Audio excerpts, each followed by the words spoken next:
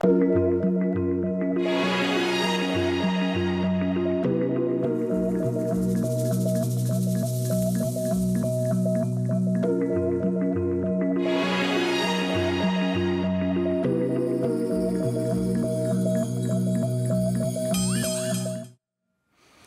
Bonjour et merci de nous retrouver pour la foi prise au mot, votre rendez-vous de formation et de réflexion.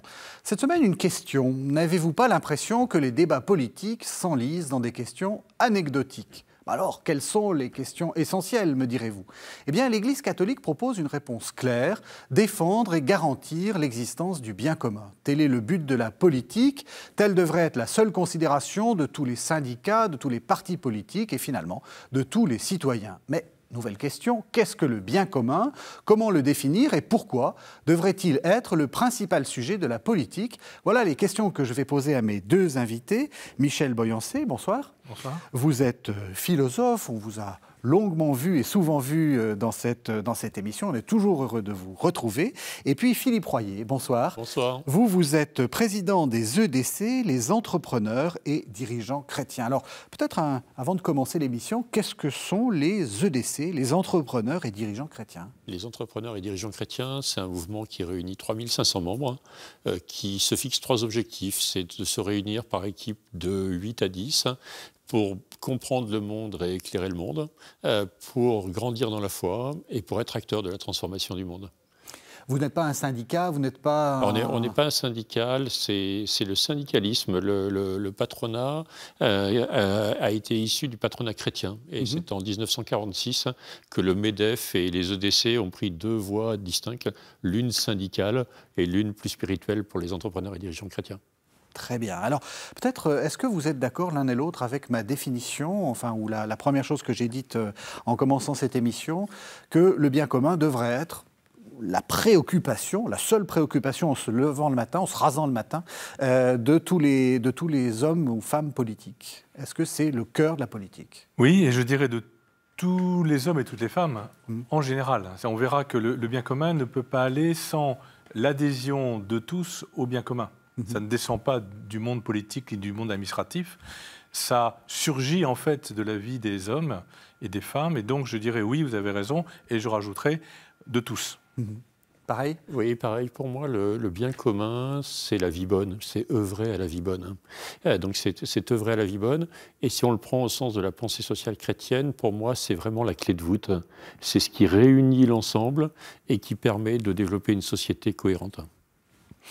Alors d'où ça vient cette idée? Quelle est l'origine? Je vous vois sourire parce que vous savez, vous savez euh, votre, enfin, je, vous savez que je sais votre amour pour saint Thomas et que vous allez enfin pouvoir nous parler de saint Thomas. Alors euh, euh, pas forcément. Enfin, mon amour pour saint Thomas, si on veut, disons, il y, il y a toute une tradition philosophique qui passe aussi par Thomas d'Aquin. Euh, L'Église elle-même l'aime bien, puisqu'elle le met un peu partout euh, dès qu'il y a un document. Mais surtout, l'intérêt de Thomas d'Aquin, c'est qu'il a été aussi euh, un transmetteur, un commentateur et un transmetteur mhm. d'une sagesse biblique et d'une sagesse païenne. Mhm. Et le paradoxe, c'est que on trouve l'expression bien commun chez Platon, bien sûr, l'idée du bien mhm. qui domine, qui gouverne, d'où le fait qu'Augustin, Saint Augustin aimait bien Platon. Et euh, chez Aristote, où, alors je vous donne la phrase que c'est très intéressant d'avoir cet héritage aussi, où le, bien commun n'existe pas sous la forme bien commun, ça sera plutôt en latin, le bonum commune, mais euh, il va parler du souverain bien de la communauté politique. Il y a une communauté politique, la cité, la police, et il parle du souverain. Et l'idée de souverain est très intéressante parce qu'il n'y a pas d'autre souverain que le bien. Et Augustin et Thomas d'Aquin vont dire le souverain, c'est Dieu. Mhm. C'est Dieu qui se révèle dans, la foi chrétienne. Mais l'idée d'un bien souverain, c'est ce qu'on disait juste oui, avant. Exactement, c'est une commentaire de ce que voilà, vous disiez. c'est en fait tous qui sont guidés par le, ce souverain bien. Problème, qu'est-ce qu'on peut préciser de, ce souverain bien? Mhm. Oui, et, ce bien commun, pour nous, on le traduit aux entrepreneurs et dirigeants chrétiens à travers la pensée sociale chrétienne, qui est la doctrine sociale, mais euh, enrichie du regard de nos frères protestants et orthodoxes, vu qu'on est un mouvement écuménique. Hein. Mhm. Et, on, se nourrit en se disant bah, comment nous, qui sommes amenés à être à l'image de Dieu, on peut s'emparer de cette pensée sociale chrétienne pour décliner un monde positif, pour décliner des entreprises qui vont prendre en compte toutes les parties prenantes, mais parfois les parties manquantes, et on aura l'occasion d'y revenir. Mhm. Euh, on est bien dans cette idée-là, c'est-à-dire que vous, le, ce qui gouverne, euh, au, sens de souverain, hein, ce qui gouverne, c'est le bien. Ce qui gouverne, c'est le bien, et comme c'était évoqué, l'important, c'est de comprendre ces fondamentaux et ce qu'il y a derrière ces notions de bien commun, parce que c'est ce qui va nous permettre de trouver cette identité, cette charpente et cette manière d'être, d'agir positivement. Et ce bien commun, il n'a pas vocation à rester dans l'Église, il a vocation à aller dans le monde. Hein. Mmh. Et, c'est extrêmement important de parler de ces deux notions, du bien commun, de sa source, mais également de cette vocation à aller dans le monde. Alors, en préparant cette émission, euh, Michel Boyancé, vous m'avez dit euh, surtout pas d'incantation. Il faut qu'on reste dans des choses très concrètes parce qu'il y a quelquefois une forme de, voilà, de pensée, euh, de mantra, le bien commun, le bien commun. Voilà, des, vœux pieux. Oui. On aime bien les valeurs aujourd'hui et les valeurs chrétiennes, mais elles peuvent être des vœux pieux. Hmm. Voilà, on vise le bien commun. Oui, d'accord, mais qu'est-ce que ça veut dire? Alors, qu'est-ce que c'est? Alors, qu'est-ce que c'est? Oulala, alors. Euh, ça, c'est ma, position très socratique. Alors, euh, qu'est-ce que le bien commun? Première euh, remarque, et puis on. première remarque, nous, nous, ici, nous sommes trois. En fait, on n'est pas trois, parce qu'il y a des personnes qui organisent l'émission, oui. et puis il y a tous les téléspectateurs. Eh bien, nous faisons l'expérience à petite échelle du fait que le bien commun, il surgit de nos actions, de nos relations. C'est-à-dire que nous visons, alors surtout bien sûr à KTO, hein, nous visons pas simplement le profit pour faire des émissions qui se vendent bien dans l'ordre purement commercial. Mhm. Euh, nous sommes dans une structure à but non lucratif, associative, une fondation même, euh, euh, et, donc on a souci du bien commun. Eh d'avoir souci du bien commun, c'est déjà un bien commun. Mhm. Et nous avons en commun cette recherche du bien commun. Ça, c'est une première remarque. Le bien commun ne descend pas du ciel. Euh, D'une certaine manière, oui, dans la révélation, mais ça, on y reviendra.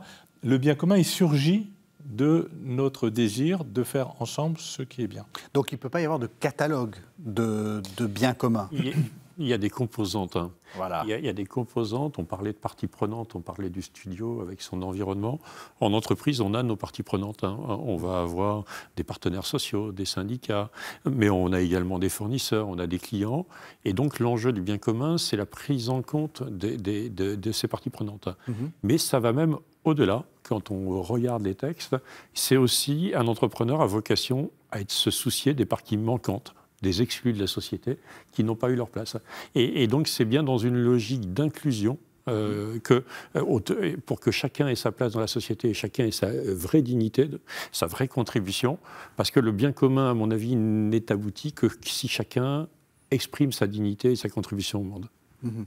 Alors on a déjà entendu le mot dignité. Donc ça aussi, donc ça, ça on peut commencer à définir. Ça met sur la piste. Ça met sur la piste, oui. Euh, la deuxième remarque, c'est. Alors, je reprends la définition qu'il y a dans, dans le Concile Vatican II, puis les encycliques. Euh, mhm.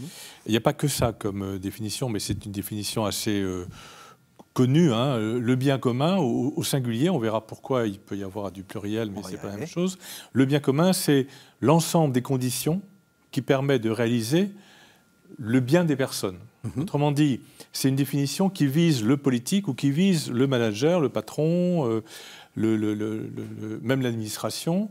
C'est-à-dire que celui qui a la responsabilité sociale, politique, euh, euh, de, quelque nature que ce soit, il est au service du bien commun, qui est le bien des personnes. Mhm. Le bien commun qui est à la fois, et c'est un vrai sujet, le bien de chacun, parce que c'est le bien de tous. Et c'est ça qui est un peu le mystère du bien commun, comment articuler le bien de tous et le bien commun et le bien de chacun. Pourquoi le? Parce qu'on ne peut pas avoir 36 finalités à la fois. Il faut bien avoir une finalité. Il y a la finalité de l'ordre de la foi, mais là, c'est pour ceux qui ont la foi. Et ceux qui n'ont pas la foi dans l'entreprise ou dans le monde professionnel, bah, ils ont aussi accès au bien commun. Mhm. Sinon, on va se cantonné à un bien euh, pour les chrétiens oui, euh, Non, c'est pas possible. Donc le bien commun pour les, pour les chrétiens, dans, l'ordre euh, général des biens, c'est l'amour de Dieu, l'union à Dieu, la connaissance de Dieu et l'union à Dieu mhm. qui se révèle dans l'Évangile. Et la subtilité de la pensée sociale chrétienne, de l'enseignement social de l'Église, de la doctrine sociale de l'Église, avec tous les mots qu'on peut employer, c'est que elle véhicule aussi non seulement un bien surnaturel spirituel, surnaturel qui se révèle dans la Bible, les évangiles et à travers l'histoire, mais aussi il y a des biens qui concourent au bien commun sur le plan social, politique, matériel, économique, d'où aussi le fait que le bien commun est pluridisciplinaire, mhm. puisqu'il comprend ce que vous avez dit, des éléments qui vont concourir. Mais si chaque acteur se sent au service du bien commun en tant que souverain, oui, c'est pas, c'est même pas le peuple qui est souverain, c'est pas l'État qui est souverain, c'est pas l'économie qui est souveraine, c'est pas le marché qui est souverain, c'est le bien commun. Mhm. D'où l'importance de se réapproprier ce que ça veut dire pour donner effectivement peu à peu le sens qu'il y a quelque chose qui nous dépasse. Mhm. Alors je vais vous poser une question un peu provocatrice, Philippe Royer. Votre, vous êtes euh, patron, vous avez une entreprise, votre bien propre, euh, c'est de gagner beaucoup d'argent. Et c'est en soi, c'est pas mal. Enfin, je veux dire, il n'y a, pas de, a, pas, a, pas de jugement moral à. Et, donc, ça contredit le bien, le bien de, vos salariés qui veulent récupérer aussi beaucoup d'argent. Alors, gagner de l'argent est quelque chose de nécessaire dans une entreprise si vous voulez payer vos fournisseurs, vos salariés. Exactement. Et, et C'est pour ça que c'est pas du tout. Euh, et, justement, croire dans ce monde de demain, il est important d'être profitable. Si vous n'êtes pas profitable, malheureusement, vous faites les plans sociaux et vous renvoyez des familles euh, chez elles. Non, et puis je, vais même aller plus loin. Euh, je n'ai aucun. Enfin, je n'ai personnellement, c'est pas mon problème. il n'y a aucun problème à ce que vous gagnez beaucoup d'argent si, par exemple, vous l'investissez, vous le donnez à KTO, à KTO, voilà. ou aux pauvres. Donc la question n'est pas là. Mais c'est là. L'argent n'est pas le problème si l'argent est, est, un moyen. Oui. c'est le, problème, c'est que le profit, et on a eu ce courant ultra-libéral, mhm. euh, Friedman, qui a dit que voilà, l'entreprise devait être que profit, se résumer à un profit. Et ça, ça nous a conduit dans une impasse, surtout après la chute du mur de Berlin où en fin de compte, on avait deux blocs qui, se, qui, débattaient sur les systèmes, et à la chute du mur du Berlin, il n'y en a plus eu qu'un seul. Et mhm. donc, on a été dans ces phases d'ultralibéralisme, mhm. dans lequel le profit était devenu l'objectif. Et, et, ça, ça nous a amené dans une société d'hyperconsommation, où la personne humaine est devenue individu. Mhm. Et quand on est individu, on n'est pas loin de devenir individualiste, voire individualiste consommateur. Et, et donc, on, on a on a résumé la personne humaine à un, individu consommateur qui, trouverait son bonheur dans les petits plaisirs de la consommation. Bah, ces petits plaisirs de la consommation ne font pas le bonheur. ça se saurait, parce mhm. qu'on a toujours envie du suivant euh, par rapport à ça. Donc, et de la même manière, c'est qu'on a pensé que la somme des individualismes, c'était l'approche de Friedman, ferait le bien commun. Ben, on peut aujourd'hui dire que la somme des individualistes ne fait pas le bien commun et qu'il faut bien définir un bien commun. La manière en entreprise où on définit ce bien commun, c'est d'utiliser la raison d'être. On a beaucoup travaillé au niveau du mouvement avec Jean-Dominique Sénard sur la loi Pacte et la définition de la raison d'être. La raison d'être nous permet de se dire qu'est-ce qui fait qu'on se retrouve ensemble pour porter un projet qui nous dépasse. Mm-hmm. et, dont le profit est juste un moyen qui permettent d'exercer l'innovation, de récompenser les salariés qui ont bien travaillé, voire de mener des actions pour l'inclusion des gens qui sont euh, sortis du système. Ce qui, est en train d'être dit, c'est ce que disait, euh, il y a un texte de, Saint Thomas que vous connaissez bien, qui, dit euh, finalement le bien commun de la, euh, de la femme de l'assassin, c'est que son mari soit... enfin, le, non, le bien propre, pardon, de la femme de, de, de l'assassin, c'est que son mari soit, soit sauvé. Après tout, ce n'est pas, pas un scandale. Donc ça veut dire qu'il faut se décentrer, c'est ça la question. Alors, dans le, texte que vous citez, il s'agit donc de comprendre la relation de justice Mhm. Et notamment le fait que euh, la femme de l'assassin, elle aime son mari, elle va chercher le salut de son mari. Et la puissance publique, hein, pas forcément l'État, parce que mhm. l'État est une notion moderne, mais disons la puissance publique et la justice fait partie de ce que fait la puissance publique, mhm. doit juger de manière impartiale par rapport au bien commun qui fait qu'un assassin, il faut quand même euh, le, juger, voire le condamner, euh, en tout cas qu'il évite de recommencer, etc. Donc c'est pour dire euh, qu'il est légitime de chercher le, son bien propre et le bien de ses proches, mhm. mais qu'il est légitime aussi qu'il y ait une autorité, ça peut être un champ d'entreprise, ça peut être un... qui soit étant au service du bien commun, qui soit garant des relations de justice, et on pourrait dire aussi, puisque là c'est la justice, des relations d'amitié, de concorde entre des personnes. Mhm. Donc il y a une responsabilité politique sur le bien commun qui va rencontrer la responsabilité de chacun, mais qui va aussi arbitrer. Car ce que dit euh, Thomas d'Aquin dans la grande tradition du droit romain aussi, c'est que euh, le droit est là pour arbitrer des litiges. Et là, il y a un litige entre la société et l'assassin. Et on a vécu cette, euh, ce, point de justement que les gouvernements, ont, dans le schéma ultralibéral, ont perdu de l'impact. D'ailleurs, Ronald Reagan a dit à un moment le gouvernement est le problème. Mhm, mhm. L'enjeu, c'est le marché. Mhm. Euh, et, non, il faut trouver cet équilibre entre le marché et le gouvernement et cette, cette force publique qui va porter une vision. Et c'est peut-être ce qui nous manque beaucoup aujourd'hui. C'est aujourd'hui, on a tendance à poser des visions à l'échelle électorale des 4 ans ou des 5 ans, qui aujourd'hui pourrait poser une, vision à 10 ans, 20 ans. C'est de cet ordre-là qu'on a besoin de poser une vision avec après des cycles de réalisation de cette vision. Donc il faut qu'on revienne à une vision politique du bien commun. Et je, reviens sur cette idée de, la femme de, l'assassin. Enfin, euh, cette vision, est-ce qu'elle doit s'imposer contre les biens individuels. Je veux dire par là, euh, parce qu'on a connu un autre système aussi, hein, qui consistait à dire euh, j'ai une très belle vision euh, de je vais faire l'homme nouveau, hein, voilà, et en fait tout le monde va être au service du bien commun, mais dans le sens en, renonçant à ses propres biens. On a vu que le communisme ne marchait pas non plus, donc, et que ça a été assez terrible comme modèle. L'enjeu pour nous, si on le prend au sens entrepreneurial, c'est de réveiller la liberté d'entreprendre de chacun. C'est-à-dire qu'on on est dans un monde où on est un petit peu anesthésié par les, bruits du monde, par ce côté anxiogène, et chacun a beaucoup plus de liberté que ce qu'il prétend avoir. Mm. Et donc il faut qu'on révèle à chacun sa capacité d'entreprendre, d'être ce co-créateur qui déploie le bien commun. Par contre, en entreprise, il y a deux choses qui étaient des options jusqu'à maintenant qui ne pourront pas le rester. C'était l'inclusion des plus fragiles et c'est le respect de la planète. Ces deux choses qui étaient des options doivent revenir maintenant à l'intérieur des modèles économiques pour aller vers une économie circulaire positive qui, qui, qui gère cet ensemble holistique et qui propose un schéma cohérent. Donc le, le bien commun, c'est passionnant. Par contre, c'est plus complexe et on voit que les politiques ont du mal à aller sur ce champ du bien commun parce que ça nécessite de comprendre une grande complexité. On va revenir là-dessus. Pardon, oui. Oui, la troisième remarque, hein, un, deux, trois, j'ai oui, oui, un petit plan dans la tête. La troisième remarque, c'était de dire euh, le bien commun, c'est le bien des personnes. Donc, qu'est-ce qu'une personne humaine? C'est le, fond de la question. Une personne humaine n'est pas simplement un individu, comme vous l'avez dit, bien que ce soit la matrice actuelle, notamment en droit. Hein, euh, l'extension des droits individuels par rapport aux libertés individuelles, c'est aujourd'hui. Hein. Euh, et l'individu souverain, il est défini dans, les textes, euh, sauf que le problème de cet individu, c'est qu'il n'a plus de limites. Et aujourd'hui, on a quitté les, les, problématiques liées au communisme euh, passé, mais par exemple, le transhumanisme, mhm. c'est bien cette idée que je vais me débarrasser de ce que je suis pour construire un homme autre, nouveau.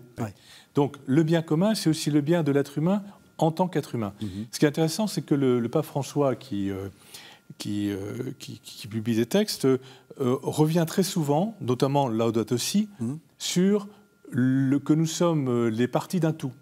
C'est le bien du tout, le bien commun. Le bien de tout quoi? Ben, D'abord de la planète. C'est le bien de l'équilibre général des espèces vivantes. Mmh.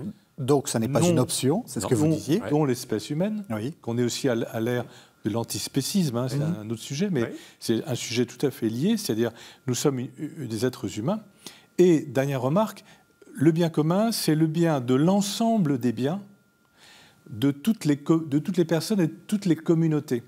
Et la première communauté, ce que dit le pape dans l'encyclique, la première écologie, c'est l'écologie de la famille, hein, mhm. qui est la, le premier lieu où l'enfant, avant même euh, d'être conçu, si je peux dire, enfin en tout cas dès qu'il est conçu, dès qu'il euh, grandit euh, avant la naissance, il est en relation avec sa mère bien sûr, avec l'environnement, etc. Autrement dit, le bien commun, c'est le bien des personnes qui sont en relation dans leur existence réelle. Ce mhm. C'est pas un bien abstrait, c'est bien pas une valeur, c'est ça. Et il y a ce surgissement du bien commun à travers les communautés fondamentales et à travers toutes les communautés intermédiaires que sont les écoles, les entreprises, les associations, etc. Autrement dit, ce qui manque aujourd'hui, hein, et je m'arrêterai là, c'est que l'individu, étant souverain, il veut se libérer de toutes les contraintes. Le souci écologique est une opportunité pour faire comprendre que bah, La première contrainte de laquelle on ne peut pas se libérer, c'est notre propre humanité, dans l'incarnation de ce qu'elle est dans, dans, le corps et dans la vie spirituelle. Mmh. Et donc, le bien commun, ça commence par ça. Après, vous avez un ensemble complexe que les différentes sciences particulières peuvent étudier de manière fragmentée, un ensemble complexe de biens, les biens économiques, les biens matériels, les biens spirituels, les biens immatériels, etc. Mmh. Mais dire que le bien commun, c'est l'ensemble des biens, ça ne résout pas le problème parce que ces biens sont au service de quoi? Pas de la pure liberté de l'individu, pas d'une pure égalité abstraite, pas d'une mondialisation financière qui veut le bonheur de l'humanité en la transformant, là, pas une transition technologique qu'on voit sous nos yeux qui va faire advenir une humanité qu'on ne connaît pas. Vous voyez ce que je veux dire? Mmh. Donc mmh. il y a un réalisme du bien commun qui commence par l'aspect du fait que nous sommes des vivants. Et quand le pape François dit qu'il y a une maison commune, que le tout est plus grand que la partie, c'est intéressant. Euh, chez les anciens, je m'arrêterai là, euh, pour la deuxième fois, je m'arrêterai là. Chez les anciens, il y a une réflexion sur le bien commun de l'univers. Mhm. C'est l'univers, il y a un bien, un ordre de sustentation de l'existence qui fait que nous pouvons vivre. Et notre univers à nous, c'est la planète Terre. Ça, m'intéresse parce que justement, le problème actuel, c'est que les gens regardent avec le petit bout de la lorgnette hein, et regardent uniquement leur environnement. Et, et, donc, tant que ça va bien pour eux, ils sont persuadés qu'on vit le bien commun. Euh, parce qu'ils n'ont pas, en compte, ils pas pris en compte cette, cette globalité. Quand on regarde les, limites du, système actuel, vous avez 27, je crois, les 27 plus grands milliardaires capitalise autant d'argent que 50% de la population les plus pauvres. Mmh, mmh. Euh, donc ça veut dire qu'on a bien un problème de distribution quand on se situe au niveau mondial. On a des problèmes d'équilibre nord-sud, on a des problèmes d'aménagement de territoire devant nous, où on est, quand on arrive à créer des mégalopoles dans lesquels vous mettez en périphérie des villes des bidonvilles, dans lesquels vous avez les déchets de la société d'hyperconsommation, et on va dire presque les déchets humains, les exclus de la société de, cette économie hyper mondialisée, on ne peut pas dire que c'est le bien commun. Euh, donc il y a un moment, sans, et, ça n'empêche pas de garder espérance dans, mmh. dans, dans, le monde de demain, mais il faut bien nommer qu'on doit changer de paradigme, on doit intégrer le bien commun dans la dimension politique, dans la dimension entrepreneuriale, dans la dimension associative, dans toutes nos dimensions. Donc, parce que si on n'intègre pas ce bien commun, il y a un moment, il y aura des révoltes. Il y aura des révoltes justifiées. Euh, il y aura des révoltes justifiées. Et donc, il est nécessaire de prendre en compte ces plus fragiles, de prendre en compte ces cris de la planète, comme dit le pape François dans la Audate aussi, parce que si on n'entend pas ces cris, si on ne prend pas en compte ce bien commun, on va se réveiller de manière douloureuse et on aura peut-être un type de société ou un type de gouvernance dans nos pays qui ne sera pas celui qu'on aurait envie d'avoir. Et c'est également une question de, charité, et c'est ce, ce que nous rappelle le pape Benoît XVI dans Caritas in Veritate, c'est le paragraphe 7. Il faut ensuite prendre en grande considération le bien commun. Aimer quelqu'un, c'est vouloir son bien et mettre tout en œuvre pour cela. À côté du bien individuel, il y a un bien lié à la vie en société. Le bien commun. C'est le bien du nous tous, constitué d'individus, de familles et de groupes intermédiaires, forment une communauté sociale. Ce n'est pas un bien recherché pour lui-même, mais pour les personnes qui font partie de la communauté sociale et qui, en elles seules, peuvent arriver réellement plus efficacement à leur bien. C'est une exigence de la justice et de la charité que de vouloir le bien commun et de le rechercher. Œuvrer en vue du bien commun signifie d'une part prendre soin et d'autre part se servir de l'ensemble des institutions qui structurent juridiquement, civilement et culturellement la vie sociale, qui prend ainsi la forme de la police, de la cité, on aime d'autant plus efficacement le prochain que l'on travaille davantage en faveur du bien commun qui répond également à ses besoins réels. Tout chrétien est appelé à vivre cette charité, selon sa vocation et selon ses possibilités d'influence au service de la police.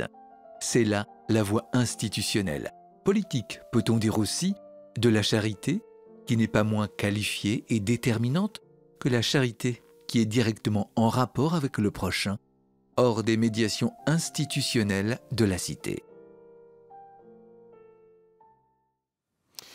Alors, on a entendu, on a entendu le, pape Benoît XVI. Euh, c'est un discours assez, assez général. J'aimerais encore une fois qu'on revienne sur quelque chose d'assez concret. Est-ce qu'on peut dire que si on prend un, pays euh, quel qu'il soit, euh, le, premier bien commun, c'est les ponts, les routes, l'éclairage public, les égouts, etc. C'est-à-dire, en fait, ce qu'on appelait autrefois le bien public. Est-ce que ça, est-ce que ça, peut être une première alors, euh, dans, la compréhension, euh, dans l'approche euh, de compréhension des différents aspects du bien commun, il y a un mot que je vais utiliser, c'est un, un, vieux mot issu du grec, moins utilisé aujourd'hui, mais qui me semble important, c'est ce qu'on appelle l'ensemble des biens architectoniques, c'est-à-dire mhm. organisés de manière architecturale les uns par rapport aux autres. Qu'est-ce que ça veut dire? Ça veut dire que, d'où l'importance du singulier, ça veut dire que tous les autres biens concourent au bien commun, que le bien des personnes dans leur euh, euh, nature profonde, leur vie corporelle, affective, psychologique, sociale, politique, spirituelle, surnaturelle.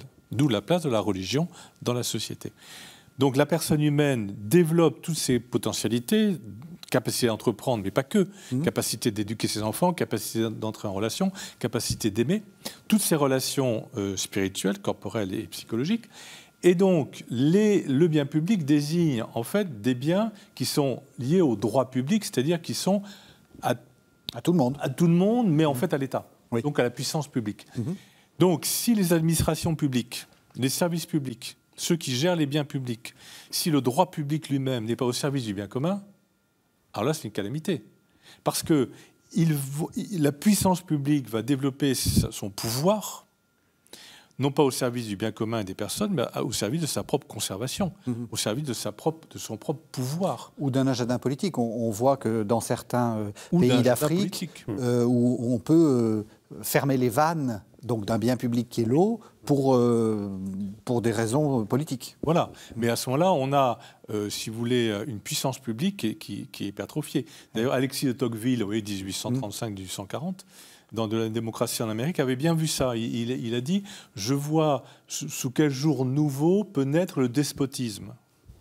Et à l'abri de la démocratie.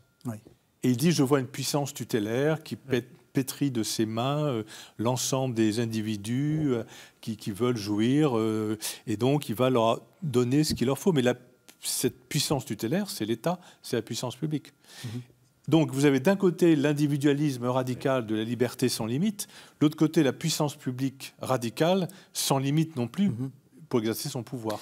Le bien commun, c'est cet équilibre entre les deux, mhm. entre les deux réalités qu'est que, la personne et qu'est l'État et que sont les, les autorités publiques. Ça m'intéresse de rebondir sur cette notion des communs, effectivement la puissance publique a en charge ses communs. Et c'est sûr que si elle fait preuve de despotisme ou si elle utilise ses communs à des fins personnelles, voire même parfois euh, des, quelques politiques dans la corruption, mhm. on voit bien que tout de suite tout s'effondre parce que le bien commun passe par l'exemplarité de la puissance publique dans la gestion des communs. Sinon, si vous n'avez pas cette exemplarité, comment vous voulez que ceux qui vont être les citoyens eux, eux-mêmes un respect euh, de ces communs. Et, aujourd'hui, on voit bien qu'on a parfois des dérives dans la, dans la position de la puissance publique vis-à-vis des communs, et on a des dérives vis-à-vis de, gens qui ne respectent plus les communs. On a, on a même des dégradations très très régulières. Vous avez des manifestations sur Paris où c'est devenu normal qu'il y ait des magasins de cassés. Mhm. ou que les, biens, que les biens publics et les communs soient abîmés. On ne peut pas accepter ce type de société.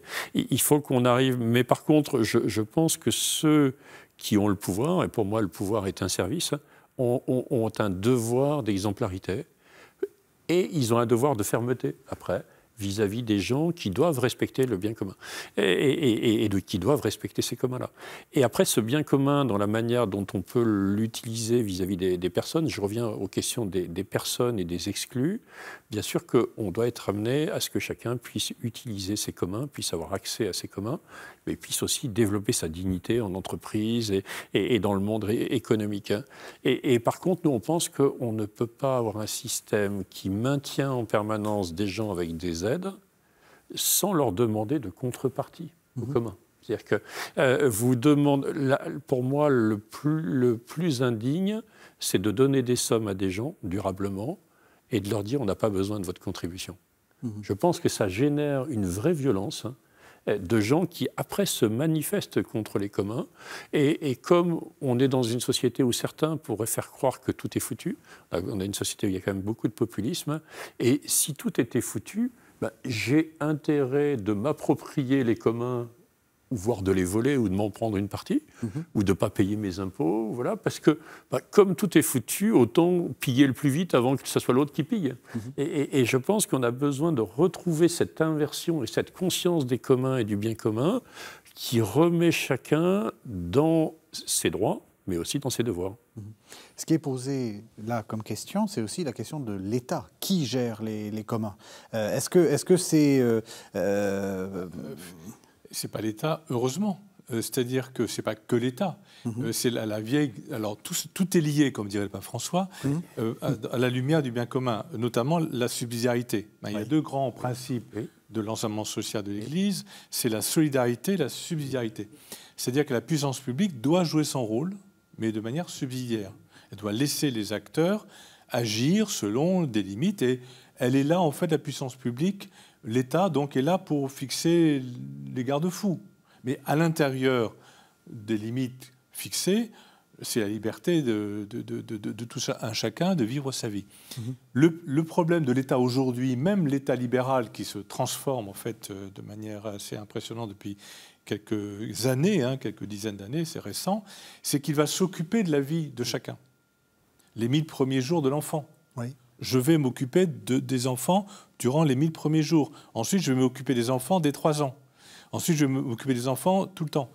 Euh, et puis, je vais prendre soin de vous, hein, sans faire référence à quoi que ce soit d'actuel, mmh. euh, etc. Et donc, euh, l'État est au service, un, du bien commun, mais ce n'est pas lui non plus qui fait le bien commun. C'est nous tous qui faisons le bien commun. L'État vient nous aider éventuellement en fixant les limites. Donc on n'est pas du tout dans un État ni régalien qui s'occupe de rien, ni d'un État-providence qui tend à s'occuper de tout. Et ça, c'est un vrai sujet politique. Oui.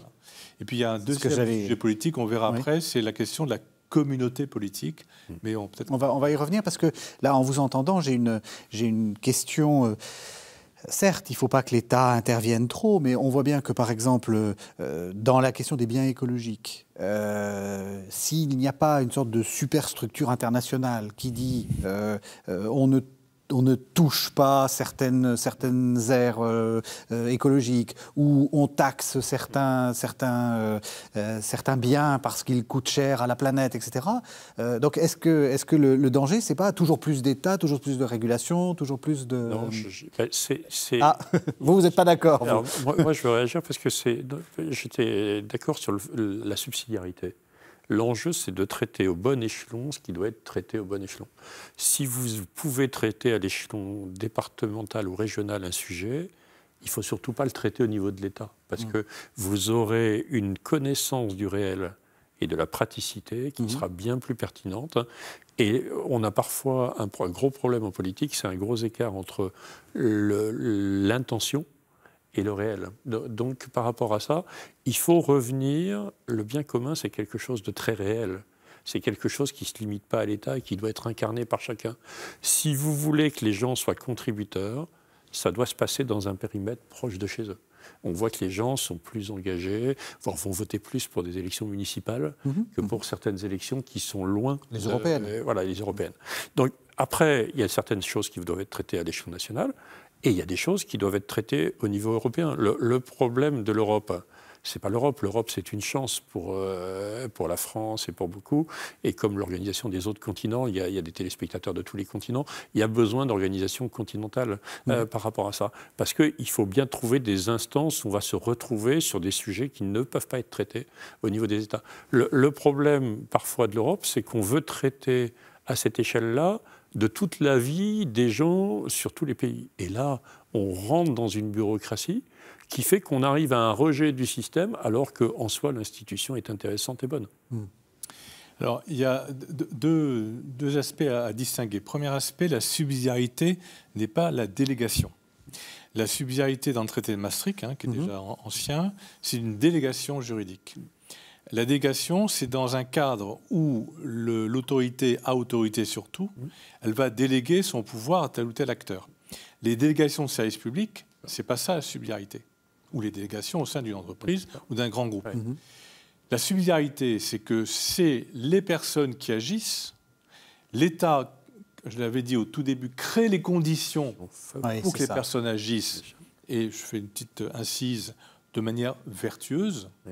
Faut bien rappeler que l'éthique et la politique s'articulent notamment par la vertu. Donc c'est ce que l'État doit être vertueux et, les principes de l'État doivent être et vertueux. Et les citoyens aussi. Que moins les citoyens sont vertueux, plus l'État a envie de cadrer tout ça, parce que c'est l'anarchie.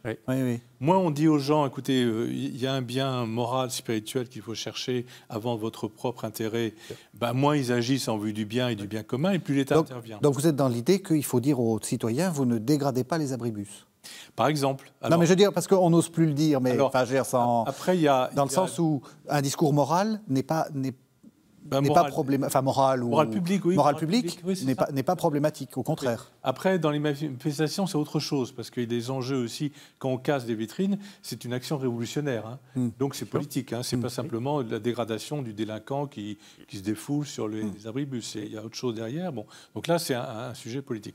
Et deuxième remarque aussi, donc ne pas confondre subsidiarité et délégation.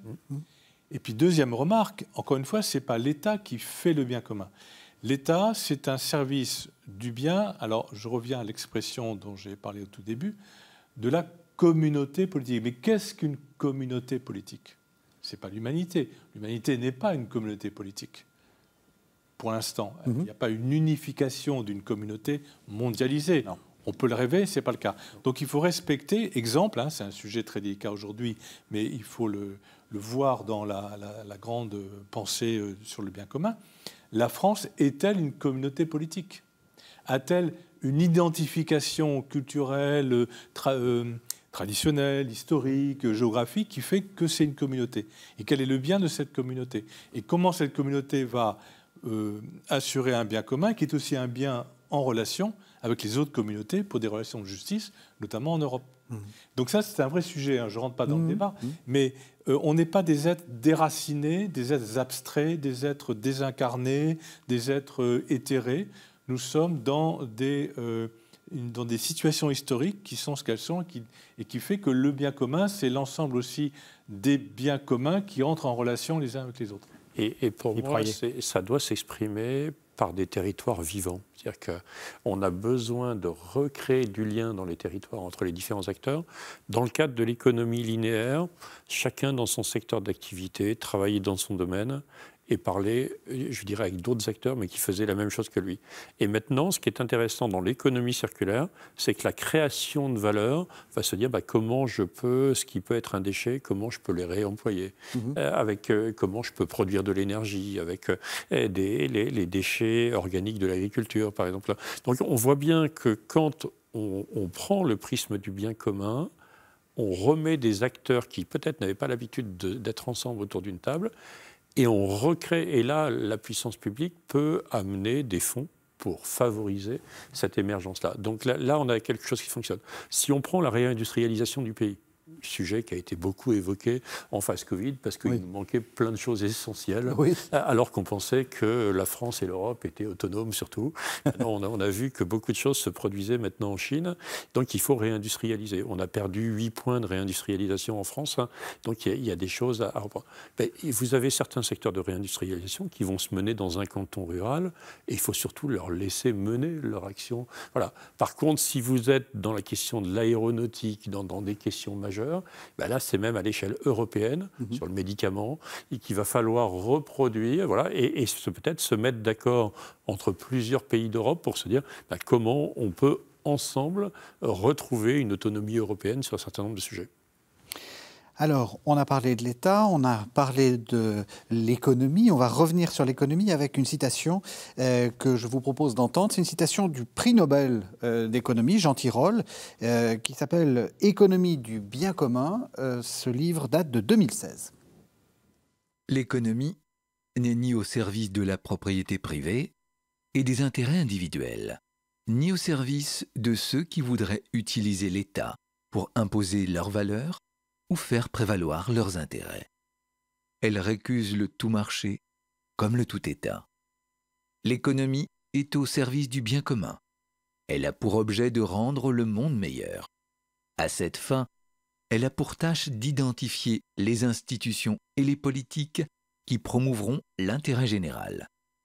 Dans sa recherche du bien-être pour la communauté, elle englobe les dimensions individuelles et collectives du sujet. Elle analyse les situations où l'intérêt individuel est compatible avec cette quête du bien-être collectif et où, au contraire, il constitue une entrave. Voilà, alors qu'on entende Jean Tirole, qui, normalement est un économiste, euh, c'est un économiste très sérieux, dire l'économie n'est ni au service de la propriété privée et des intérêts individuels, ni au service de ceux qui voudraient utiliser l'État euh, pour imposer leurs valeurs ou faire prévaloir leurs intérêts, l'économie est au service du bien commun. C'est une bonne nouvelle. C'est bien. Euh, son texte est très intéressant parce qu'il il dit c'est pas l'intérêt commun, l'intérêt général qui suffit. Alors pendant des années, on nous a dit c'est l'intérêt commun, l'intérêt général. Et euh, ce qui fait que politiquement, on parlait plus du bien commun. Mhm. Il y a même des, des, textes qui veulent pas entendre parler du bien commun parce que ça veut dire un bien transcendant, mhm.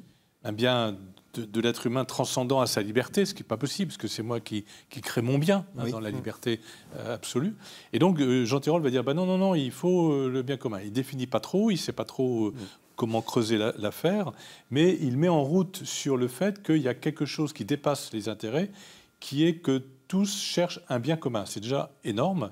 Et c'est déjà très important. Parce que du coup, la question qui est derrière, c'est est-ce qu'on peut euh, euh, promouvoir le bien commun sans avoir des, alors des valeurs ou pour aller plus loin, une spiritualité? En gros, est-ce qu'il faut être chrétien pour promouvoir le, bien commun ou, ou, euh, musulman ou, enfin, Est-ce qu'il faut avoir une religion? Je, pense qu'on peut être animé de la vie bonne. Moi, je suis toujours plein d'admiration devant des gens qui manifestent une vie bonne sans témoigner d'une spiritualité, au moins euh, de manière explicite. Hein. mais dès qu'on ouvre cette notion du bien commun, on voit bien qu'à un moment, il y a quelque chose de plus grand qui nous dépasse. Hein. on voit bien. Mais ce qui est intéressant, c'est que ce bien commun euh, qui, qui, vient de l'Église, aujourd'hui, le monde est en train de s'en emparer. Et pour moi, c'est une excellente nouvelle, parce que l'enjeu, c'est que le monde s'empare du bien commun, qui ne peut pas se, euh, se restreindre qu'à l'Église ou que, que, à, des croyants. Et donc, on, on a aujourd'hui une diffusion de ce bien commun. Et le fait que l'avantage, déjà qu'on en parle, ça nous permet de parler de ce qu'on met derrière les mots, de savoir si c'est de l'intérêt général ou du bien commun. Mais le bien commun, bonne nouvelle, est en train de devenir quelque chose au goût du jour. Mhm. Alors, je me rappelle de ce que vous avez dit, Michel Boyan, c'est toujours rester concret. Euh, on arrive à la fin de, l'émission, il nous reste une dizaine de minutes. Euh, est-ce qu'on peut prendre l'un et l'autre, vous prenez un cas pour euh, expliquer comment le bien commun se met en place? Parce que l'idée, c'est aussi que les, les téléspectateurs se arrive à se dire, mais bon, moi, comment est-ce que je peux promouvoir le, bien commun? Alors déjà, euh, trier ses déchets, euh, faire des choses comme ça, peut-être, hein, euh, mais comment est-ce que ça se met en place dans des choses un peu plus compliquées? Alors, je, prends un exemple très, très concret et en même temps très, très sensible. Il se trouve que dans les activités que j'ai, je, je travaille avec des, médecins dans le domaine de l'éthique médicale. Mhm. Parce qu'on a peu parlé de l'éthique, mais le bien commun présuppose une éthique, des valeurs euh, mhm. morales, une éthique, une éthique de, l'être humain, de la personne humaine. Et euh, notamment dans le, coin, dans le, cas d'accompagnement de, personnes en fin de vie, donc en soins palliatifs et en fin de vie, euh, on a fait un travail très intéressant parce que l'expert premier, c'est le médecin par rapport aux produits, aux médicaments, à l'état clinique du patient. Par rapport... Et puis, l'ensemble des personnels va entourer le patient pour, non pas qu'il guérisse, qu'il ne peut pas guérir, mais en tout cas l'accompagner au mieux en soins palliatifs jusqu'au terme de sa vie avec des discernements quelquefois très problématiques. Donc, un, le bien commun, c'est de comprendre ce que c'est qu'un être humain.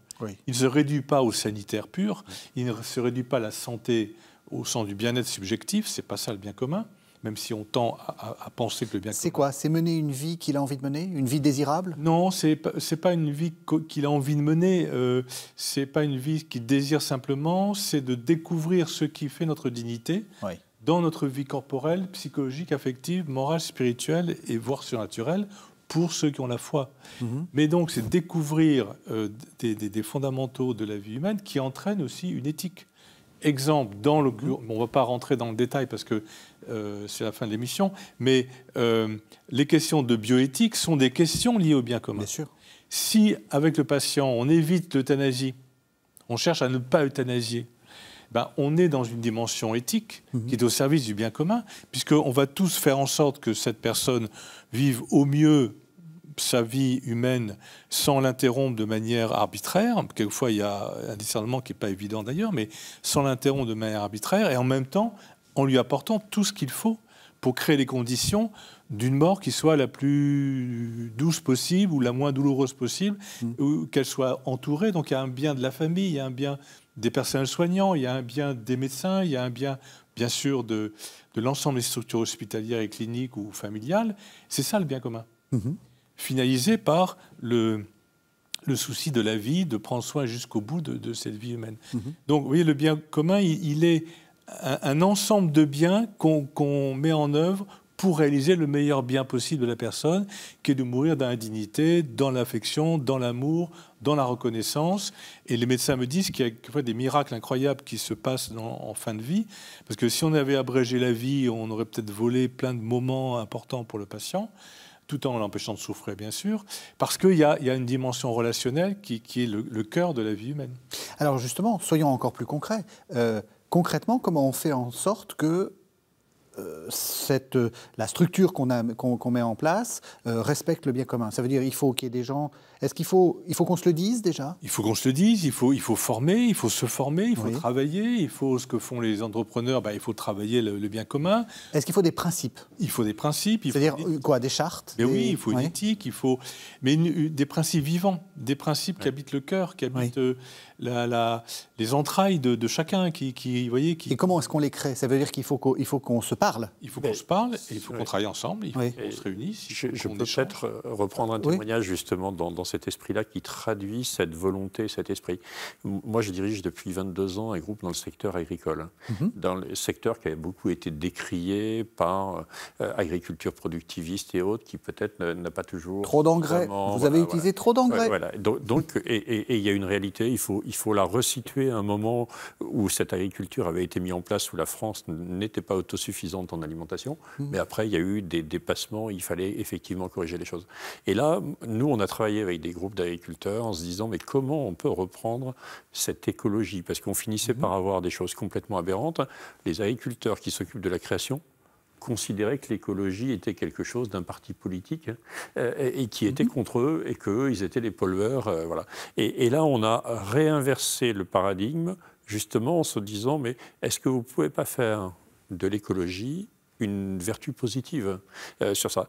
Et donc on a accompagné des organisations de producteurs à aller discuter avec des industriels et en disant mais on est capable de vous produire un lait sans OGM, un lait bas carbone, un lait où il y a plus d'autonomie protéique et moins de déforestation au Brésil.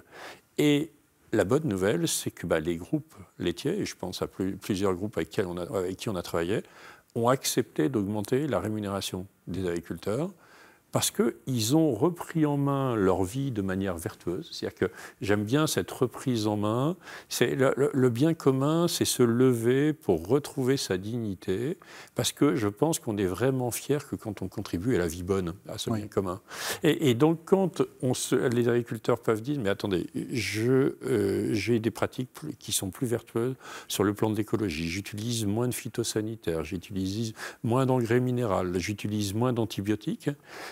Et y compris quand ils se retrouvent le week-end en famille, ils sont fiers d'expliquer à, leur famille que leurs pratiques ont ont évolué de manière très positive. Alors votre cas est intéressant parce que ça, il y a aussi un autre aspect qui est l'aspect euh, euh, des représentations qu'on se fait, par exemple des grands groupes laitiers euh, et des grandes enseignes qui, qui, sont abominables, affreuses. Qui bon, ça veut dire qu'il n'y a pas de. Alors, il faut changer aussi. Il faut changer les, choses. La, la, manière de penser dans, les choses. Dans la vie, les choses ne changent que quand vous prenez en conscience que vous pouvez changer la donne. Donc il faut, il faut c'est ça, il faut changer nos représentations, y compris de l'autre. Voilà. Et, là, pour ces, ces groupes que nous, d'agriculteurs qu'on a accompagnés, qu'est-ce qu'on a fait? C'est que on a refédéré des collectifs. Si vous êtes seul face à un grand distributeur et à un grand industriel, vous n'allez pas peser grand-chose. Mhm. Par contre, si tout le collectif des agriculteurs se dit, ben, nous, on entend que les consommateurs ont des attentes nouvelles et on est prêt à y répondre. Par contre, il est normal qu'on en ait une juste rémunération. Je crois que toute la population d'un pays est capable de comprendre ça. Et, donc là, ça veut dire que le bien commun, c'est celui qui fait le pas de côté aujourd'hui, qui reprend cette liberté d'entreprendre, qui devient le co-créateur. Et, moi, j'aime bien le fait qu'on ait. Euh, le pape François nous dit que voilà, sombrez pas dans le tout est foutu et passez dans le tout est lié. Voilà. Mmh. Mais seul le fait de recréer des collectifs, de sortir de l'individualisme, euh, l'individualisme fait que euh, l'agriculture était un secteur où il y a énormément de suicides. C'est-à-dire qu'à un moment, votre ferme mmh. grossit, vous bossez comme un fou, et, ça n'a plus de sens. Hein. Mmh. Alors que ce qui refait sens, c'est le lien à l'autre, c'est l'amour, c'est la famille, c'est toutes ces dimensions-là. Et c'est pour ça qu'il est temps que ces territoires ruraux, on en fasse des territoires vivants. Merci beaucoup. Alors, pour aller plus loin, euh, il nous reste un tout petit peu de temps pour présenter vos, deux livres que vous allez présenter euh, chacun. Euh, Michel Boyan, c'est Le bien commun à la croisée des disciplines, un ouvrage que vous avez dirigé avec Bernard Guéry aux presses universitaires de l'IPC. Qu'est-ce que vous avez voulu faire dans ce livre? Alors, il y a eu un premier ouvrage qui, a été élaboré par un, avocat. donc un ouvrage juridique sur un projet d'une société de capitalisme solidaire. Mhm. Voilà. Donc, à partir de cette réflexion, on s'est dit, eh bien, on va inviter, c'est des colloques universitaires, des mhm. anciens chercheurs, avec aussi des, personnes d'entreprise, essayer de voir comment les différentes disciplines concourent à, travailler les biens communs. Et on a, on, a eu une journée d'études sur la subsidiarité, on aura une journée d'études sur la loi naturelle, tout ça pour euh, faire en sorte que ce qu'on appelle le bien commun se déploie à travers de multiples aspects qu'on a abordés très rapidement aujourd'hui. Mhm. mais qui font partie de la culture du bien commun. Parce que euh, que faire? Ben, Que faire? Il faut travailler, il faut se cultiver, il faut réfléchir, il faut, il faut euh, se réunir pour développer une culture du bien commun.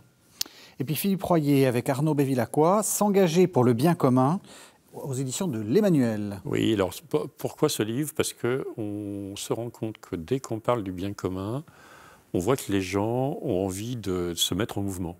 Par contre, ils ne savent pas dans quel sens y aller et ils ne savent pas comment s'y prendre. Et, donc, c'est le manuel pratique. Voilà, donc, donc, là on est rentré en disant, bah, euh, la première partie est sur la définition de ce qu'on a vu dans cette émission, et la deuxième partie c'est comment je peux entreprendre ma vie. Et moi j'aime bien cette expression de Martin Luther King qui dit, perdez pas d'énergie avec vos ennemis, il faut absolument aller réveiller l'indifférence des bons. Et à travers ce livre, on veut réveiller l'indifférence des bons. Et on a un autre livre aussi qui est Humaniser l'entreprise, qui sort aux EDC, 33 témoignages d'entrepreneurs. D'un mot, parce qu'on est à la toute fin de l'émission, euh, les EDC ont des assises nationales. Oui, bon, on parlait de monde et d'un monde à l'autre. D'un monde à l'autre sera le thème de nos assises du 18 au 20 mars au Havre. Hein. L'enjeu, c'est comment porter un regard d'espérance sur le monde et comment justement traduire ce bien commun dans le monde. Merci beaucoup. Merci à tous les deux. Merci de nous avoir suivis. Vous savez que vous pouvez retrouver cette émission sur le site internet de la chaîne www.ktotv.com et on se retrouve la semaine prochaine. Thank you.